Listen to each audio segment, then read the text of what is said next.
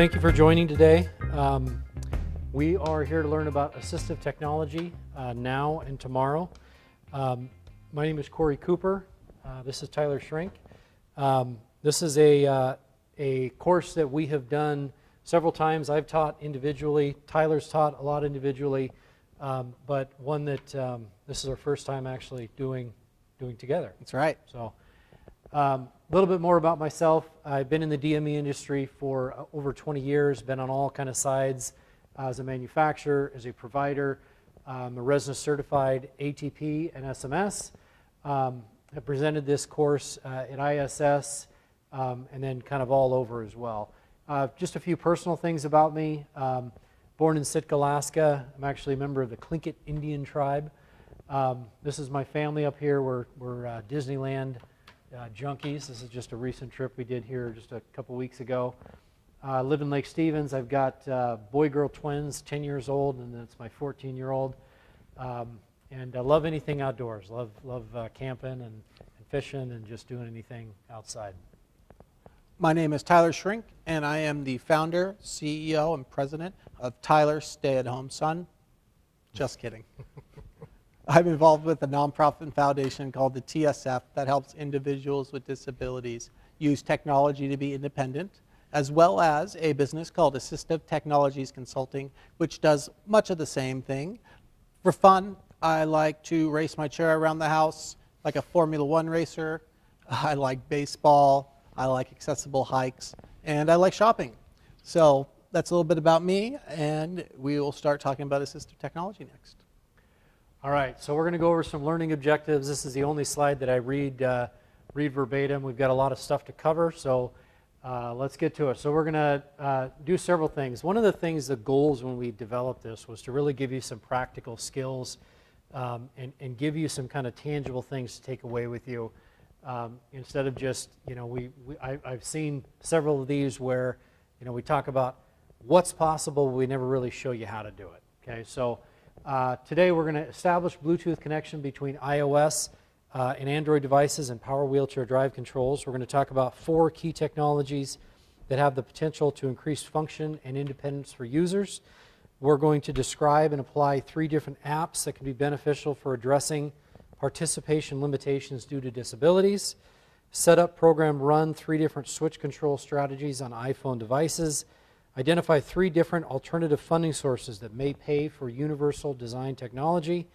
And explore and list two benefits of commercially available mounting options for phones and tablets on mobility devices. A lot of them. Yep, that may seem like a lot, but we're going to walk you through it. All right, so this slide is a little bit tongue in cheek. The, the idea here is that this is, you know, when we talk about accessibility, we're, we're trying to get people to think of accessibility in a different way, right? Think of, you know, we, when we hear the word accessibility, a lot of us think of things like curb cuts and uh, the ADA, you know, physical mobility, ramps and elevators. Um, what we're trying to get people to think of is in this new world that we're in today, uh, kind of the Internet of Things, connectivity is really thinking about accessibility in a, uh, in a new way. So assistive technology can be anything really. Uh, if you're wearing eyeglasses, that's assistive technology, but it can all be all the way to robotics or uh, virtual reality. Accessibility means more today than just providing mobility, uh, interactive environments. The impact of technology and the end user is really significant. I will tell you a little bit about why that's important to me. There is a law for rehabilitation assistive technology, so it's available and should be discussed. So this is the this is why we're here. Okay, the, the problem is is that you know this, this technology is out there can have great benefits for people. Um, you know the, the benefits are are really um, there, there's a lot of them, but there's some kind of hurdles in the way. Okay, so one of the biggest things is that these devices are not considered medically necessary, right? So they're not, right. you know, our traditional funding sources, our Medicares and Medicaids don't readily pay for this type of equipment. Um, because care providers, and, and by care providers that can be a, you know, a vendor, uh, an OT, a PT, because we're not reimbursed to really help implement, train, program, troubleshoot this type of technology, um, it, it kind of gets, you know, we get this, well, that's really not my, Yeah. my role. That's, you know, that's something maybe you should do. There's kind of this, um, you know, nobody really knows who should be talking about this stuff. Um, very time consuming, okay? It's been viewed as very, very time consuming. Um, you know, this equipment we're going to talk about today, a lot of these components are commercially available. The, you know, the, the rate at which this stuff is evolving, there's new software coming out and new versions of things. Um, you know, we go out, we set this stuff up, and then what happens when, you know, the version changes and it, it, it doesn't work like it used to. Right? So there's kind of this ongoing right. service. Yeah, and all of us struggle with technology, and so for educators or therapists, try to teach the person how to troubleshoot it themselves because there will be issues. Uh, you know, it's unfortunate this stuff isn't more readily available through funding sources, but it is consumer technology, as that's what's gotten these things uh, available and affordable for people like me. Yep. So because of these, you know, the lack of uh, lack of funding, the knowledge deficits, they, you know, what what has traditionally happened is there's been kind of a limited number of subject matter experts in the field that we've relied right, relied upon as a community, as an industry, to go out and to help kind of enable some of these connections and, and the things we're going to talk about today Great. what what the goal is is to really you know help you uh, leave here today with the you know some different skills you know some knowledge where maybe you can go out and and try to help you know provide a little bit of the foundation to to make this stuff a reality for people. One- of the things we want to make sure that people leave here today with is you know if we as a as a as a community as an industry and this is something that i think we all kind of we all espouse is you know let's not let, let's make the case for things right let's e- even if we know that something hey that's going to be categorically denied we know that there's no funding for it um, there's still a benefit i think to letting our payer sources know that the benefit of how this stuff is making lives better right um, if we never ask for it my perspective is that our, our funding sources, the, the, you know, potential payers for this type of equipment just never really know, right? They just, well, we don't hear anything, so it's not something that we need to really consider. Um, I, I talk about, you know, the, this is not something where you need to really, you don't need to build the whole skyscraper, okay? This is something where if you can just establish, you know, help somebody establish a connection, um, let them know what, what some of the possibilities are. The, you know, if people are motivated by this type, type of technology, they will, they will build this out themselves. A good example could even be just a light bulb controlled with an Amazon Echo. It's cheap, you know, $30 for an Amazon Echo, 25 for a Bluetooth light bulb, and it's just something that can be done independently. Doesn't have to be much, just anything. Yeah. Um, there are some there are some funds out there, and these are you know these are several. There's probably this is not a comprehensive list, but there's several that um, here that you can you can rely on. You know these are ones where a lot of times you're doing the application, a grant application. Um, Tyler's Foundation often pays for this type of assistive tech. Um, you know, VA, Google, Mike, I mean, Google and Microsoft and Amazon. This is really a, a, a burgeoning industry right now, right? Where they're trying to make things that have universal design um, characteristics, and, and they're getting this stuff out into the market so that everybody can use it. Um, Tyler, you wanted to share just kind of your journey a little Sure. bit here, you know, in terms of kind of the spark that you had, Mhm. you know, and, and Yeah, absolutely. One thing, real quick all you power wheelchair users out there, you're all eligible for a $550 assistive technology benefit per year. So you got to ask your caseworker. They're probably not going to tell you, so you got to let them know. It's more paperwork, so you're probably not going to hear about it yourself. Anyways, so back to technology, and uh, I had a spinal cord injury in 2012. Obviously, left me paralyzed from the neck down, and for years I just dealt with social anxiety and depression. You know, I really didn't do much except watch TV, eat, sleep. You know, eat, sleep, TV, repeat over and over for so many years. And what kind of changed that was a friend of mine who was working at Microsoft donated a Microsoft Surface tablet. Um, and that was important to me because it didn't take up a ton of space. I was living in a small living room, and I could do it by voice. So, uh, you know, I tried it out, and I took to it right away. It- you know, I all I did really at first was look at baseball blogs, but I was looking at something independently, and it just really hit a spark for me. And I was like, okay, I can do something on my own. I'm not reliant on others nonstop for everything. So from there, you know, like Cory mentioned before, it was, you know, I got interested in it. And I kept adding on assistive technologies. I was controlling my TV with an Xbox and a Kinect, uh, changing the channels by voice. It wasn't what it was made for, but it can be used for to help me. Uh, from there, got involved with nonprofit work because it really became my passion. Um, started a business doing the same thing. And it's amazing how many people want to be independent, but they just really don't know. So it's great to be able to pass along information like we're doing today.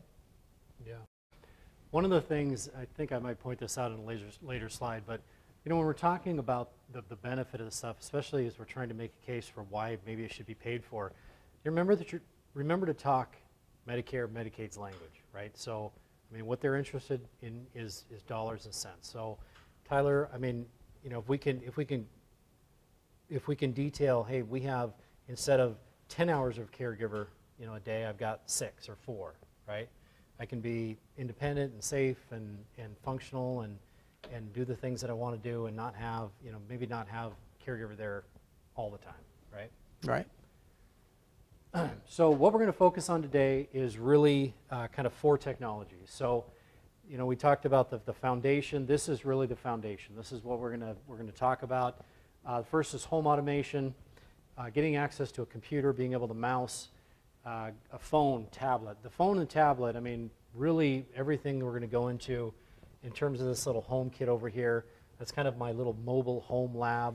Um, I'm able to bring that, plug it in, and, and kind of give you an idea of how all this stuff works, um, no matter where I'm at. As you can tell, Cory has excellent art skills. My little cat. Uh, um, and then uh, and then television.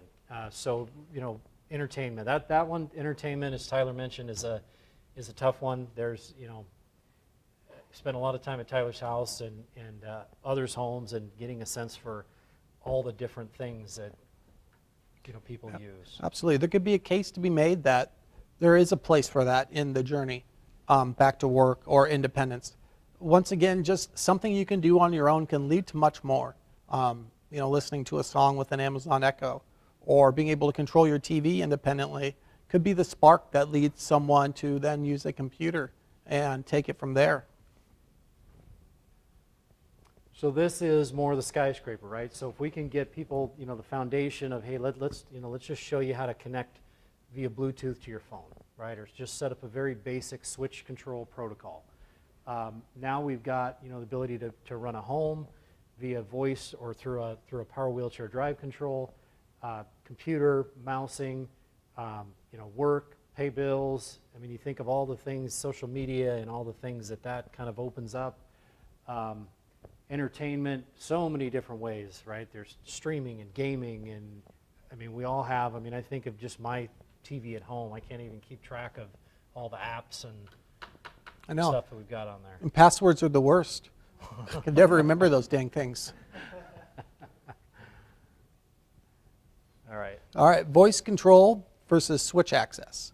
So, voice control is something that is only controlled with your voice. So, it's a direct one to one. I'm telling my phone to open an app, make a Facebook post, or anything of that sorts. It can also be used to open and close doors. You can use voice control for door openers. You can use voice control for the computer. There's many different voice accesses for computer. Um, switch control is something that I would say primarily is used on a phone. And once again, for you power wheelchair users out there, you just switch modes on your wheelchair. So rather than driving it, you are operating um, an accessibility app on iPhone that lets you control your phone just with your joystick or sip and puff or whatever you do to drive your wheelchair. Yeah. Switch control, the way, you know, one of the ways I try to explain switch control is, I mean, if you think of your iPhone, your phone that you have right now, anything that you can tap, swipe, hit, open, run, right, anything at all, any program, any application, I, I can, if I can establish a connection between a, a power chair and in any type of power chair, any type of joystick or, or head array or sip and puff, it does not matter the type of drive control. Um, if I can just establish a Bluetooth connection with that phone, I can then run every single thing with a with a power wheelchair drive control. Okay, so the you know just a couple things. I mean, you know, one of the things obviously, you know, some some people, and and I, you know, we we talk about this presentation and this technology to all kinds of different diagnoses, right? I mean, there are a lot of diagnoses we work with where where it can kind of be expected, hey, this might be progressive. I can expect a year or two or, or however many months down the line, this person might not be able to speak clearly enough to activate some of these devices, right? That might be where we really pay special emphasis to making sure that we have, you know, we've trained well on switch control and that uh, we've got it running all the, all the devices the person wants. Yep, and there are more options coming out. A lot of the major tech companies really are trying to focus on disability. A good example would be on iOS, there is a sound control where you make Yeah. a clicking sound to move to the next item, or you raise an eyebrow. No, it's only voice sounds. Uh, you use, I don't know, you click your tongue, you make a, I don't know, sipping noise, I don't know, all sorts of sounds, just to move around your phone. So another great option. And within iOS and Android, there are many different kinds of ways to control your phone just in the accessibility settings. So I encourage everyone just to pop open their phone and check out and see what's in there. Yeah. Yeah, the, the cool thing with this stuff is, you know, it's really the Apples and Androids and Microsofts of the world that are driving this, driving this bus, right? I mean, this is stuff that, um, you know, this industry, like the, the industry you kind of see represented here, um, I mean, this benefit is coming from universal design and these, these tech companies that are thinking of new ways to, to do stuff, right? I, I always kind of, um, talk about there's a there's a device out there where where people can drive with their eyes, right? So they did, it's called an eye gaze drive. Um, it was kind of a challenge that was given to Microsoft by Steve Gleason. Said, hey, I, I want to be able to drive my power chair, but I there's like I'm out of ways to do it, right? Microsoft took it. They did a hackathon. Within a week, they had a prototype. It's now a it's now a business, right? That would have taken. I mean, it would have taken Yeah. years and years and years, right? But Microsoft, I mean, the, the amount of brain power in places like this is phenomenal. Absolutely. All right. phone slash tablet access. So as Cory mentioned, you know, phone, tablet, it really can open up everything to you. There's practically an app for everything. So if you can get a way to control your phone, it can open practically anything up. You know, communication, entertainment, whatever it may be. So there's once again options for voice control or switch access. There's eye gaze, like Cory mentioned. Uh, you know, those aren't practically expensive, believe it or not. Often they're on your phone. There's an app called Hawkeye Access for iOS. There's Talk to Speak on Android. And there is something called a Tobii Eye Gaze bar that you can mount on your computer. Yep. Hawkeye. Hawkeye. Hawk. Yep, you got it.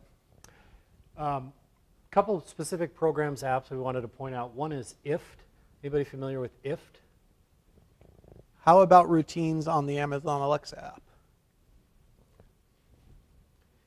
Okay, so so what what Tyler's talking about the routines, this IFTTT protocol, um, what these are what these are meant to do. You know, when we are looking at a chair like this, right? We're always trying to to get to get people as efficient as we can, right? We want to reduce the amount of, of commands and switch hits and and you know instructions it takes to kind of move throughout your chair, move throughout whatever it is you want to control. So IFTTT protocol stands for if this then that. So basically, it kind of daisy chains a bunch of apps and commands together. Okay, so Tyler can get home, and you know the second he goes in, unlocks the door. Right, door opens, and instead of just the door opening, and now now you go in and you got to turn the lights on, turn the heat where Yeah. you want it, turn the TV on. Right, IFTTT will kind of chain all those things together. Absolutely. So I, I use GPS location. So when I arrive home, the door unlocks and then the door opens and then parks, stays open. So I can just come wheeling in without worrying about stopping or anything. And that's helpful if it's raining. You know, I don't want to be sitting out in the rain, you know, clicking around on my phone. So those are great options for things like that. Uh, the other one that I point out here is, and it may, may- you know, for, for today, maybe not quite as applicable, but I do point out, you know, speech assistant AAC, there is, there are so many um, speech apps on the Apple Store. They cost $2, $5, $10. They're super simple.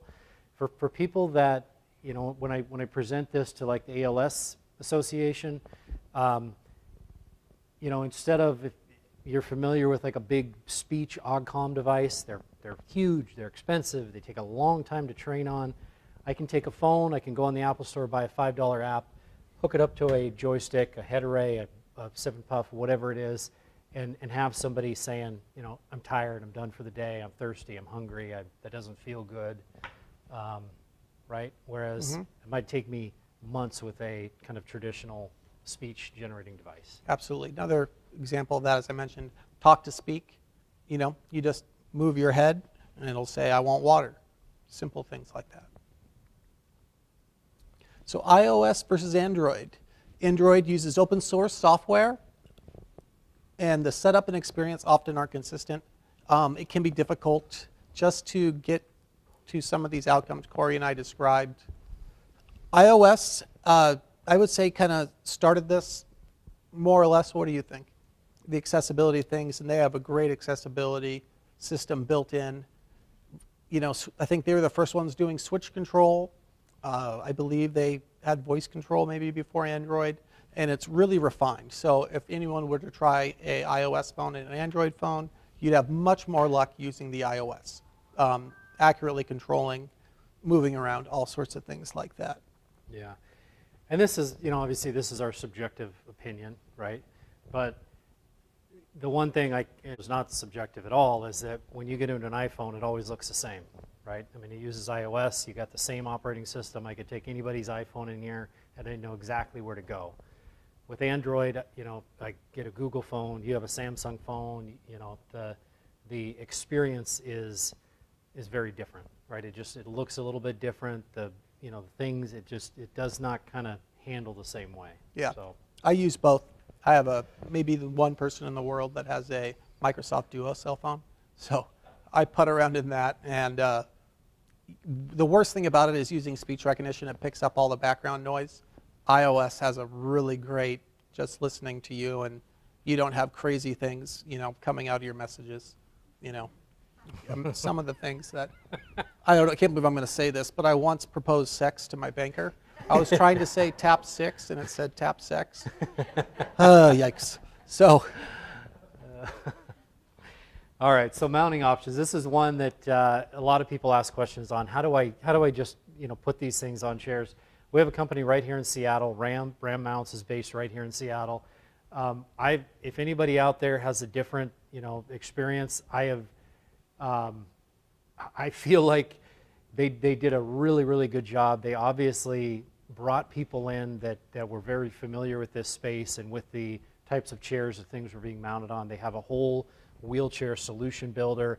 It has you tell you know do you want to are you in a Permobil, an Invacare, are you mounting it off of a seat rail or an armrest, um, and it tells you exactly what you're going to need. it's all available right on their website, so.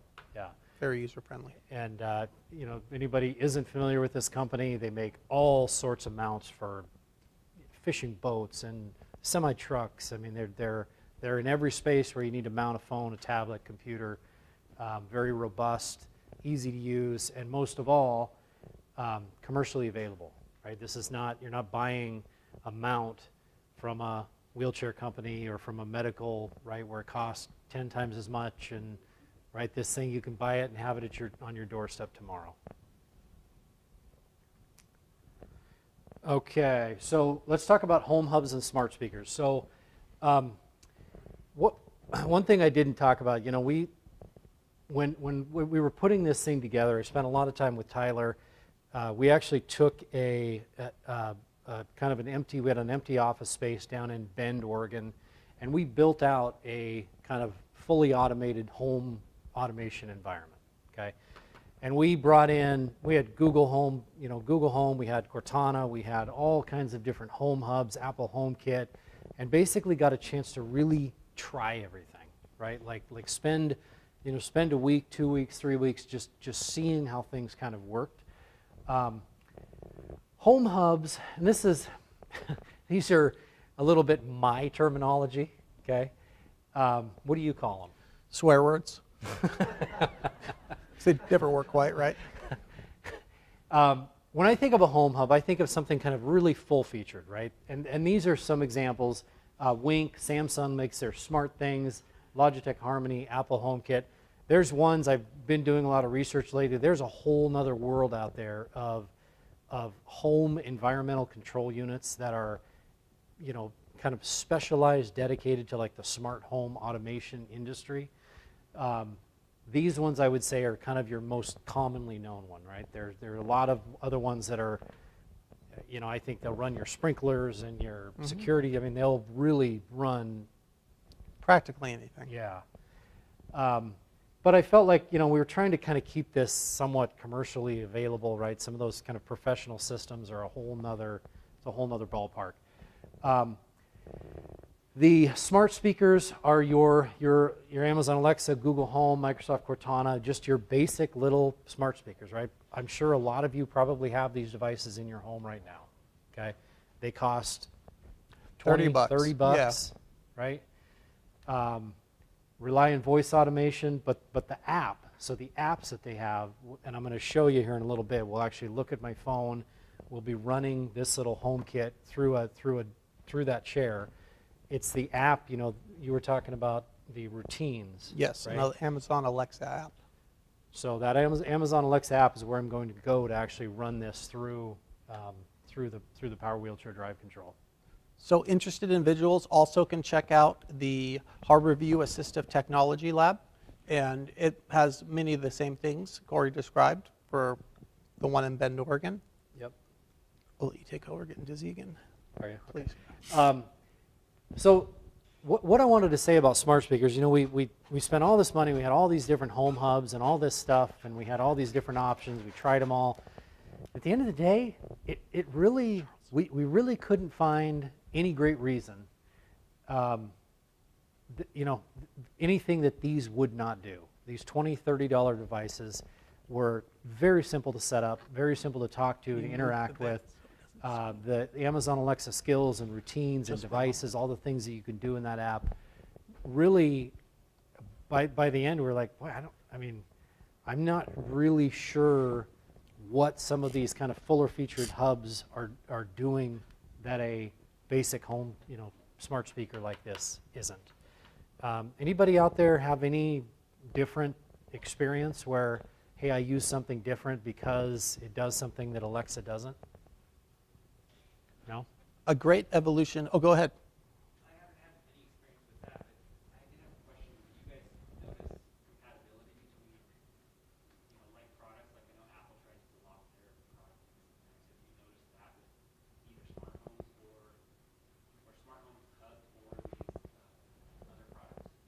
Yeah, I have noticed compatibility issues when it comes to connecting between like Apple and Google and Android. Uh, Apple, like like you mentioned, was specifically difficult. The thing that I have difficulties with is when connecting them, you often have to scan the barcode on the home item, the smart outlet or whatever. And I always am in a hurry and I just toss the box out and have to go rummaging through the garbage later to try to find it. So a lot of the other ones are great where it just automatically connects it through Bluetooth.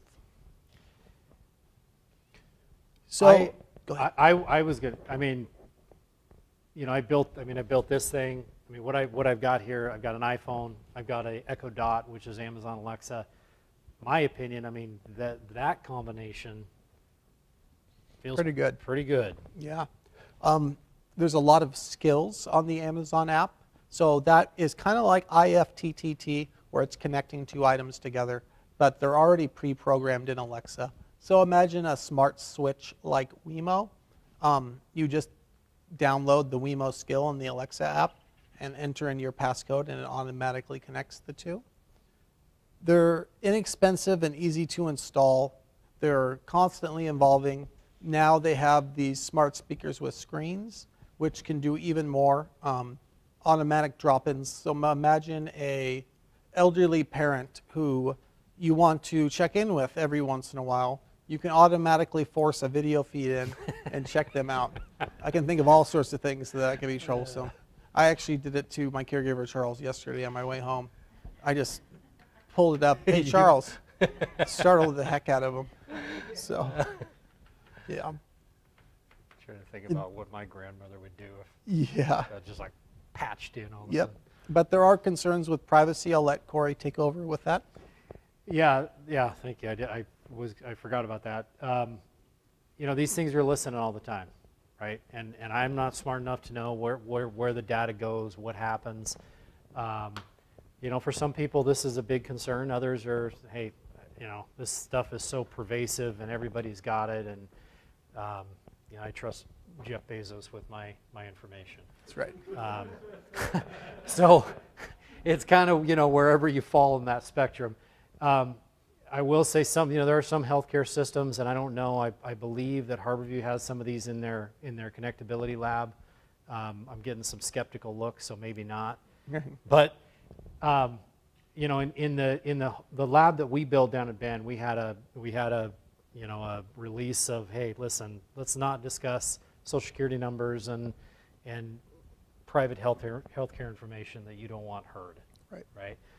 I will say on the on the Amazon front, um, I actually just learned the other day they do have they do have kind of a like a HIPAA compliant version of this. I I'm still I'm not sure yet. Is that is it a totally different device? Is it is it like a different software that's in there? I'm not 100% positive on that yet. But yeah, it's usually in like the terms and conditions type of thing, where you just change how the software runs. I believe. Like I said, it's fairly new. It could be completely wrong, which Yeah. isn't uncommon for me. But you know, what the heck. Home automation. So this is my favorite one. As I mentioned, um, you know, assistive technology really changed my life and brought me a ton of independence. Uh, you know, while this was going on, I was living in my dad's living room, and I had an opportunity to move out on my own. But I was going to have to solve many problems of how to be independently when I was in my home, because I wasn't going to have someone with me constantly. So we started with, you know, a Wemo, just a way for me to control devices like a fan or anything that you just need power to, and you leave it in the on position. August smart locks are great. I use those to lock Cory out of my house. can do be done by voice app or you know uh, with IFTTT and programs like that. Uh, GPS location, home lighting. There's this is one's kind of interesting, and there's several different ways to approach it. So there are Bluetooth light bulbs that you just screw in and replace your old light bulb, and you just uh, connect it via Bluetooth between your phone and the light bulb. But there's also smart light switches. So that's when you would wire in a light switch to your wall and it would communicate with the lights that way. Uh, benefits of that is for me, if I have like the Bluetooth light bulbs on and a caregiver turns off the light switch, they are off. I can't turn the light switch back on and I can't get power to the light bulb. So smart switches, wall switches are a good way to bypass that. Yep. But yeah, you want me to go back? We're actually this is kind of I probably this is kind of a summary side. We're going to kind of go into this stuff in a little bit more detail. Is that okay? Okay. Um, so what I what I use on this one, I just have a Wi-Fi light bulb. Hey Alexa, turn the light off. Hey, I called it the wrong name. Hey Alexa, turn lights off. Um, the uh, as Tyler said, the switches. I mean, now you've got. I mean, I, I get a little leery around my switches, getting in there and playing with wiring and shutting my circuit breaker off. Probably something I have an electrician do, whereas, you know, I can just unscrew a light bulb and put a new one in. But these Wi-Fi light bulbs are not. I think they're maybe 20 a piece, Yeah. 15 a piece. Fairly cheap. Often you can get a deal on them where they come in a pack of four. Uh, they change colors now for people who are interested in that. All, all programmable by your phone app. Smart outlets, once again, great for something you can leave on. So a fan, just plug the outlet in, pair it to your phone, leave the fan in the on position, and there you go. Hey Alexa, turn the fan on. Okay.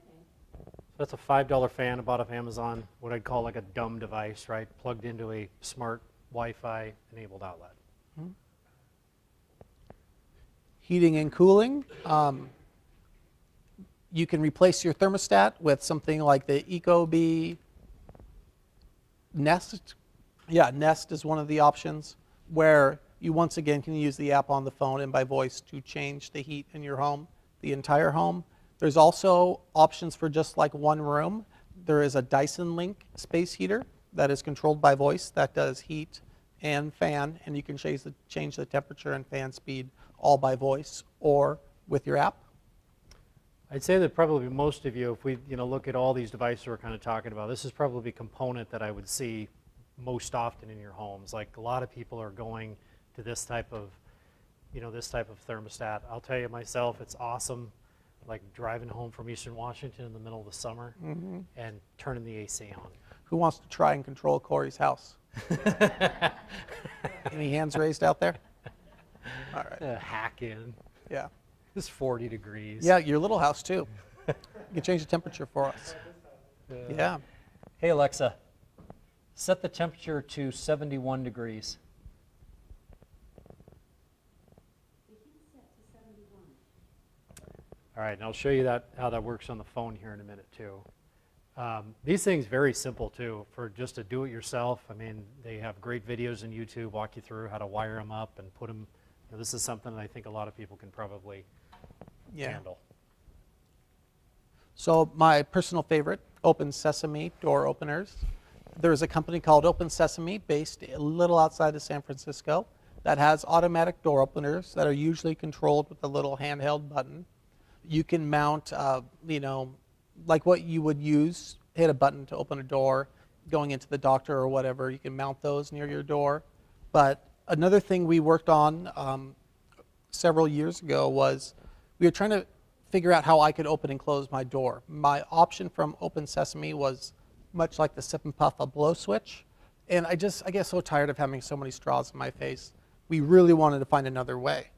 Uh, luckily, we found a smart gate opener that was compatible with the Open Sesame. So we wired that in, and the app said I was controlling a gate, but I was really just controlling my door. So lots of different ways just to get creative and use assistive technology or home automation consumer products, not for the intended purposes, but still can help with independence. Yeah, it's a good example. You know, we talk about like just efficiency of commands and Mm-hmm. and uh, having a you know, for you, I mean, having a switch, right? Yeah. Mounted. I mean, that does one thing is not really not the best use of real estate. Nope. Right. So being able to do it through the Gogogate opener through an app on your phone is much better. Correct. Door locks, uh, as we mentioned, there's August. There's all sorts. I think all the companies have smart door locks now. You can do keypad. Uh, I have one that I can actually unlock it with my app. So if I don't want to give out my keypad number, someone can open the door. They're uh, can be controlled by location. So when you get home, they can open just by your GPS location. Uh, you can control them with the app on your phone. You can control them with voice. And often, if you connect it with Alexa and at night, let's say you typically lock it and you forget, Alexa may give you a reminder to go ahead and lock your door or say, Can I lock your door for you? Yeah. 5:30 p.m. It's going to be going off now. I know. At least you didn't set it for 5:30 a.m. Yeah, I know. Um, couple couple things to to remember about these: the door locks and the open sesame. The um, these are you know if like you open the door just like just like normal. Okay, so caregiver, family member, husband, wife, it the the door operates just like normal. This is on the back side, on the inside, turns just like a normal you know latch, right? So there's nothing here that doesn't operate as kind of we've you know all become accustomed to. Yep. right? We just have another way to use it. kind of already touched on this, but garage door openers, there's the Open Sesame, no, excuse me, the Gogogate and the Nexx opener. Uh, they differ in price a little. Nexx is cheaper. The Gogogate's a little more expensive. Uh, but of course, they can be used actually for their intended purpose, like opening your garage door, um, which can be handy once again with GPS location. You just get close to your house and the garage door pops open. All right, computer mouse access. So this is one kind of like the, the television entertainment. There are a lot of different solutions that are out there. Um, mouse simulation is being built in, mouse connectivity. I mean, every chair basically now has kind of at this, you know, this level has connectivity Bluetooth built into it, right? So they're able to connect to, to computers. Um, one important thing I always get calls, hey, my my mouse on my screen, it's go moving too fast, or it's you know it's moving too slow, or it's doing weird things. These computers do not recognize they don't recognize the electronics on your, on your chair as anything other than a wireless mouse. Okay, so anything you know changing the way the mouse moves, the speed in which it moves, the way it moves, it's it's pretty much always done in, in the control panel of the computer. Okay, so it's not like a there's not often you know parameters around computer mouse programming in the chair. There's, there, there are some, but for the most part, that holds true. Um, clicks is always the, the tough part. You know, we can get people like just, you know, just moving the cursor proportionally, um, digitally all over the screen. It's okay, now what do we do when we get there? Do we, you know, do we have a, a, a dedicated switch for like left mouse, right mouse? Um, again, that's not realistic for a lot of people. Absolutely.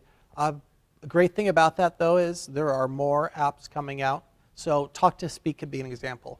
You use your drive system to move the mouse, and then you program a click with the Talk to Speak app on Android, where you raise an eyebrow and it does the click for you. And that's fairly new. Like Cory said, for a while, there was no options other than trying to program a dedicated switch. Yeah. Um, uh, a lot of you probably are familiar with this device, the QuadJoy. For a lot of, a lot of people, that's probably the, the best way to, to run a mouse and have that clicking built in.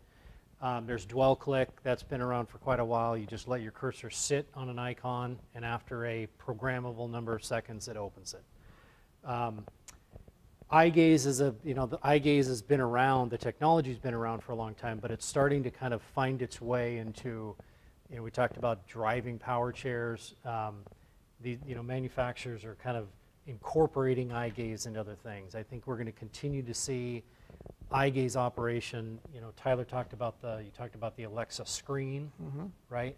Maybe having eye gaze incorporated into that where I can just look at the icons that I have on my screen and, and, uh, and run them. Absolutely.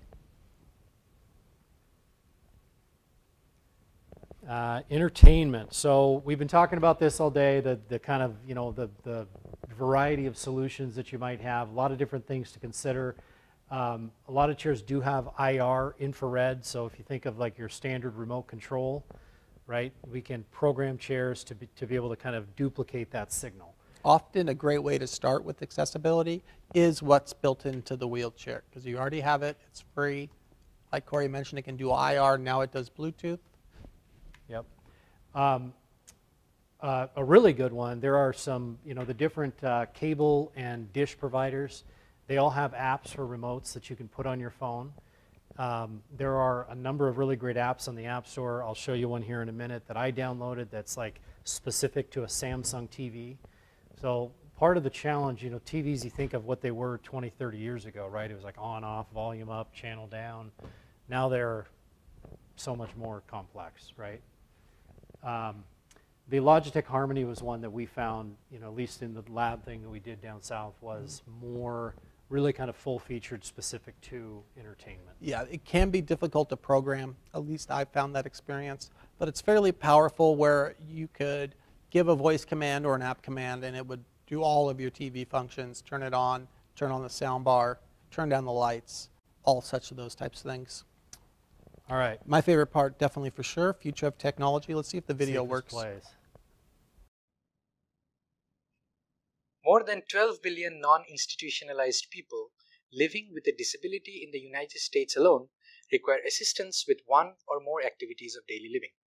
Systems such as the JACO robotic arm can be attached to a motorized wheelchair and augment a person's ability to perform general purpose tasks that they can't complete on their own. The Personal Robotics Laboratory at the University of Washington aims to extend the capabilities of general purpose robots to accomplish even finer grained tasks. Eating free from food is one of the most intricate manipulation tasks that humans perform. To initiate feeding, a person would switch the robotic arm from teleoperation mode to autonomous mode. The meal begins with the robot picking up a custom 3D printed fork that is docked on the wheelchair when not in use. From that point on, ADA can feed someone an entire meal with or without human intervention. The system integrates onboard sensors, electronics, and computation with the arm and wheelchair, enabling ADA to travel with the person. Robot assisted feeding requires robust, non prehensile manipulation of a deformable target that is hard to model. Humans adapt their approach to accommodate the shape and compliance of each forkful of food. Our lab designed ADA to follow a similar approach, using a combination of sensing, perception, planning, and control to successfully acquire and transfer various food items. The camera and tactile sensor attached to the arm rely on a custom built perception module to wirelessly communicate multimodal sensing information to the robot. The haptic feedback enables ADA to skewer with appropriate force and confirm the attempt was successful. Autonomous feeding is challenging for robots because it involves the manipulation of deformable food items of various sizes, shapes, textures, and compliance. A robot must solve the problem of both where to skewer and how to skewer each item of food, an act we refer to as bite acquisition. When deciding how to skewer, the robot must learn at what angle to approach the item, how to rotate the fork, and what forces to apply. ADA takes all of these factors into account when skewering a piece of food. For each item, whether it is a cube of melon, a whole round strawberry, or a soft slice of banana, the robot determines the appropriate fork orientation and approach angle, then exerts the force required to successfully skewer and lift the item without dropping it. While a piece of melon can be skewered from above and safely lifted off of the plate, a soft food like banana requires ADA to approach from an angle that ensures the banana will not slip off the end of the fork in midair. ADA must also determine the best way to deliver the food to the person's mouth, which we refer to as bite transfer.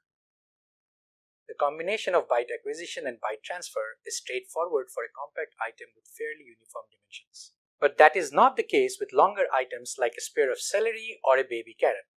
For longer shapes, ADA will spear the item closer to one end rather than in the center. While this is not particularly necessary for successful bite acquisition, the system is also looking ahead to what will make the transfer easy in the next phase. At the point of bite transfer, ADA will position the fork so that the person can accept the food from the opposite end to where it is skewered. This keeps the tines of the fork away from the mouth, which, as we learned from user studies, is important for ease of bite transfer. The system also angles the fork in order to make it easier for the person to take a bite. The arm mounted camera enables ADA to detect when a person has moved their head during the process of delivering the food item. The robot uses visual servoing to adjust its motion to the user's head movement. This enables it to adjust the path of the fork in midair to reach the person's mouth. When the plate is empty or when the person decides they have had enough to eat, ADA returns the fork to its dock on the wheelchair and the meal cycle is complete. At that point, the user resumes teleoperation until they activate the autonomous mode for their next meal. ADA represents a significant step forward in solving some of the most complex challenges in robot manipulation through a robust system of perception, planning, and control that is informed by multimodal feedback from haptic and vision sensors. With ADA, we have demonstrated the potential for a robot assisted feeding system to increase independence and improve quality of life for people living with disabilities.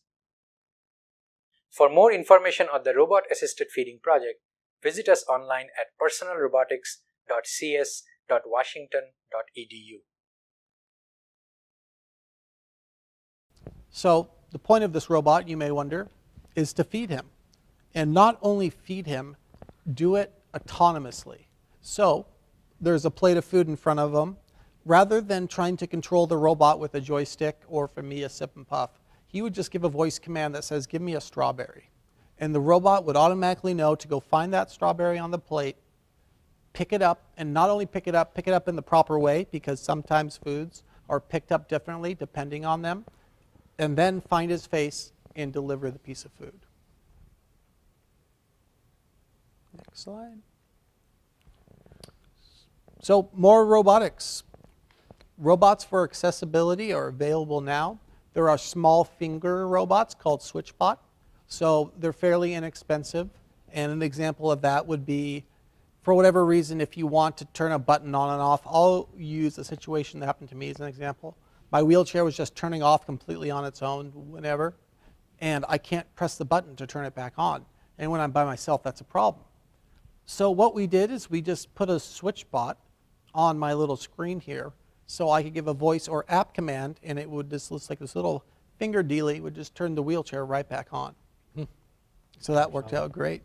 Medication management, there are medication robots now that will automatically dispense your pills at any desired time. They're often uh, face recognition, so you go up to them and they won't dispense the meds for anyone else except for you.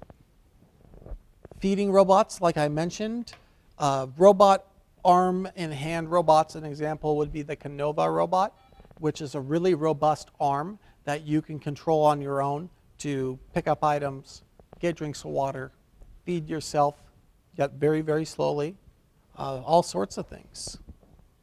So, self driving cars are kind of an example of robotics. Those are coming. Uh, incredibly helpful for people with disabilities because there's really no way for us to get around. Uh, feeding robots, like you saw at the beginning slide there. So this is this is one example. This product, uh, this one down at the bottom here, um, is called the Obi feeding robot. Uh, this has been on the market for A few years, two years. I was going to say more like a year, Yeah, it's really new. um, but completely programmable. Um, really, I think in terms of, of feeding, probably kind of leading the um, leading the charge there. Um, a lot of you might be familiar with this product. I think this is in the Kinova arm, the Correct. one that was in that Yeah. the video. That, um, you guys have probably seen this. There's one of the reps in the area. His name is Nathaniel. He's always at shows and different things, showing you know, drinking Yeah. water with it and Mhm. spilling it all over Yeah. himself. Something interesting is right now it's not covered through Medicare, Medicaid, but we're hoping to change that. Uh, there's an, a user has an appeal coming up soon, and if that appeal goes through, it would set precedent where more individuals would be able to get it. It is covered by private insurance most of the time and is almost always covered through the VA. Yep. Um, and like all the stuff we've been talking about, can be run. I mean, really designed to be run through a power wheelchair drive control. I will say, the while the SwitchBot is affordable, the Kinova Is not arm is affordable. not It's like affordable. 70,000. So, you want a new Mercedes or a robot arm? Honestly, I'd pick the Mercedes. Assistive robots for tomorrow. Uh, no video here, but that arm you see, um, I'm picking up a cup of water, uh, all using my sip and puff uh, little straw that I use to drive my wheelchair. I just switch modes, and I reach out there, snag that cup of water, and bring it back. Uh, you know, this really could be the future of things. There are robots now that can actually help you prepare a meal. A lot of this is done in Asia. Self-driving cars, once again, really cool. Um, hopefully, there'll be a day where I could just summon a car and wheel in it into it and go where I want. Uber does have an option for uh, you know power wheelchairs to drive around. it's a pilot program and may be over, but it was only located to downtown Seattle. Virtual and augmented reality. Um, you know, this can be used for so many different purposes. A lot of uh, virtual reality has been used just for relaxation techniques for people with disabilities. There is uh, studies done for autism and how it can improve that. Augmented reality is when you maybe have, I don't know if anyone's familiar with the Microsoft HoloLens. You can still see your environment, but there is an option for, I guess, HoloLens, there's an overlay. So I can be looking at all of you and maybe have the presentation in front of my eye. So it's like right in, it's like Google Glasses kind of, but bigger. There, uh, you know, are smaller examples. There is one that kind of wraps around your head, and there's just a little lens on by your eye, like RoboCop or something, and you can fully access the computer through head movements and voice. All So- right. Yeah, let's move on.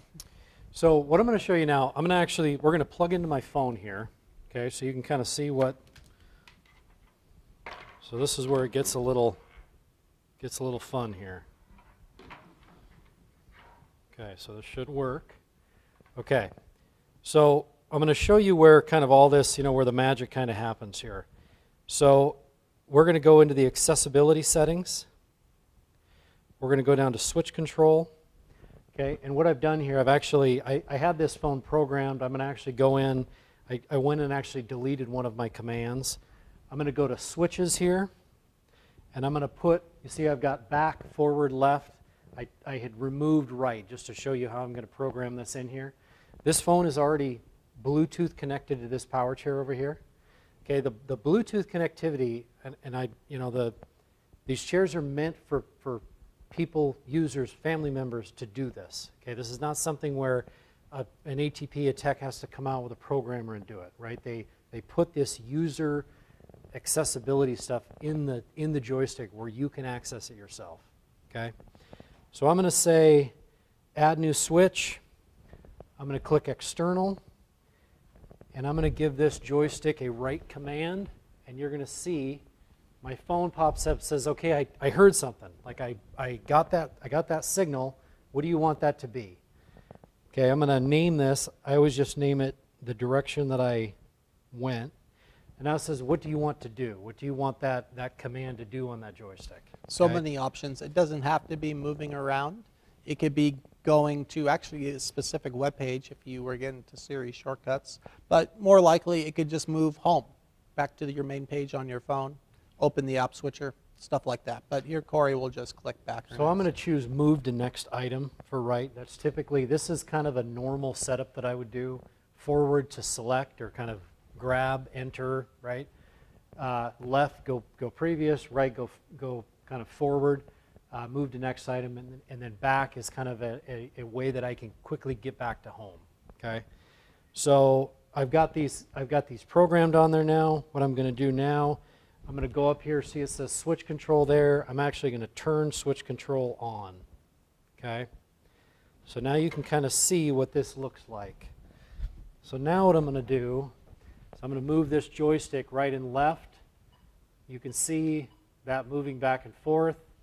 Um, if I if there was an app that I wanted to get into, so let's say I'm going to get into the Alexa app, I'd give it a forward command to actually go into that row. Okay, now a right and a left move me left and right. Okay, so I'm going to go into Alexa, and right now, I'm going to go back. I'm going to say, I want to turn my lights on.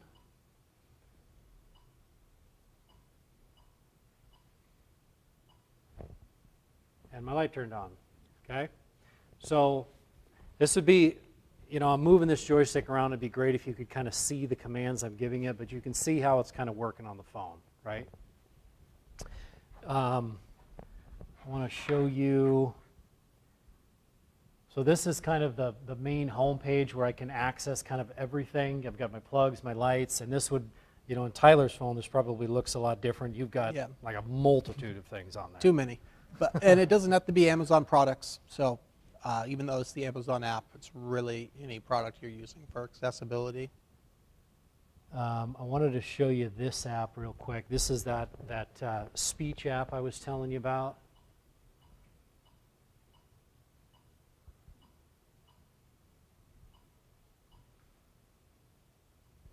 Um, my volume's turned down. Amazingly, we've had almost everything work. Yeah. right? Technology is so unreliable. I don't know why my phone's not saying that, but.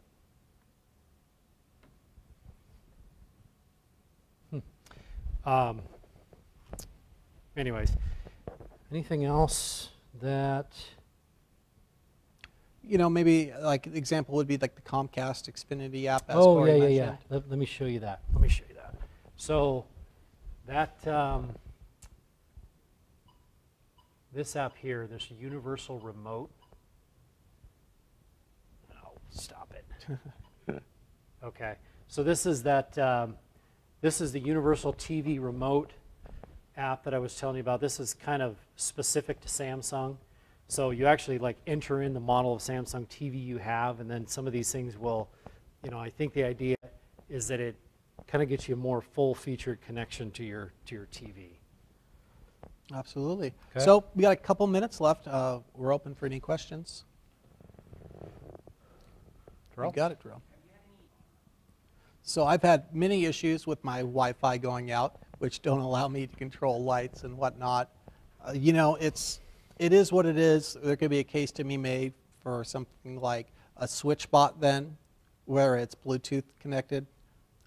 You know, I mean, if Wi-Fi goes out for me, I'm, you know, trying to barrel through a wall or kick the door open with my footrest. So, you know, That that is a good point, though. I mean, you know, you just think of the. I mean, the frustration. Just you know, I, internet doesn't work. I can't stream. I can't email. Whatever. I mean, now you've got all these things hooked up, and it's like if they don't, if it's in, Wi-Fi doesn't work, I'm. I'm screwed. It's not like I can't. I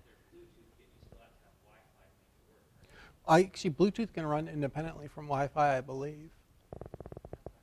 Yeah. Yeah. So, yeah, pros and cons for each one. Questions?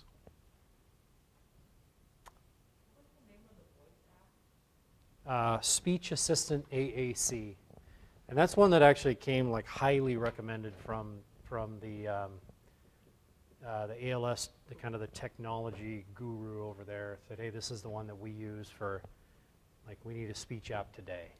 Or for controlling a phone, voice control, um, voice access on Android. Windows is voice access. Apple, once again, is voice control for computer. Okay. What we got? Go ahead, sir. So there is a $550 assistive technology benefit to individuals who receive state services through DSHS or the DDA. It is yearly for assistive technology. It's very underused. Uh, it can pay for an item, like a, you know, I mean, you're not going to be able to get a really nice iPad, right? But it'll pay for something in there. It also pays for training, installation, and uh, if you want to save some of that 550, you could use it for help in the future um, to get things set back up again. Unfortunately, it's fairly limited. There are exceptions to the rule, which will pay for more money, but usually that's just uh, help from your caseworker submitting more paperwork, which gets shooted down to Olympia. So, That's your WATAP, right? uh, no. It's just through DDA. Okay. Okay. Questions? Go ahead. I would say a great starting point is just this uh, phone for a great starting point for new users or people who are intimidated by technology. Uh, you know, if you happen to be a power wheelchair user, like Cory mentioned, you have Bluetooth in your chair. Your phone has the accessibility features necessary. So it's really just connecting the two and going from there. Yeah, and, and I, I agree. I think that's I think that's the place to start. One thing that I, I think is, you know, you need you need to make sure people understand is, you know, like you, you see me, I mean, I'm fairly fluent getting through and, and going where I want to go, but but when you're using this every day, like Tyler, I mean, it mm-hmm. it's he's just flying through it. Yeah. Right. I mean, there's you know he knows exactly where he needs to go. I mean, you get you get so much more proficient at it when you're using it all the time, right? I mean, just the level of proficiency really gets extreme quick. And so for any, you know, educators or therapists, start with something the person isn't going to have trouble with because it can become discouraging. And then you're losing, you know, maybe some of the more advanced things. So something real simple, like I mentioned, the light bulb. Or if you do something on the phone, something really simple there. All right, any more questions? Yeah. Uh-oh. Uh, Right. So go-to places to troubleshoot troubleshoot issues uh, would be well. I, I say that when I tr- I have to deal with issues. So uh, places to troubleshoot issues would be the uh, you know M- Microsoft, Apple, Android all have dedicated help centers for disability features. There are chats and phone calls as well as documentation. I think to Terrell's question earlier too, it's probably something, I mean, why, the Wi-Fi stability and reliability is such a big part of this stuff.